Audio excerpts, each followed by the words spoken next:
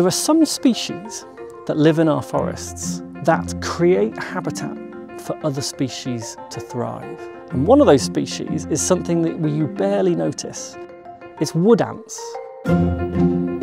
Yeah, we're taking part in a really exciting experiment here in Yorkshire District along with researchers at University of York to see if we can translocate the northern hairy wood ant into a new area that they're not currently recorded. They've been shown to influence tree growth, they help to predate certain pest species as well. They provide food for other animals.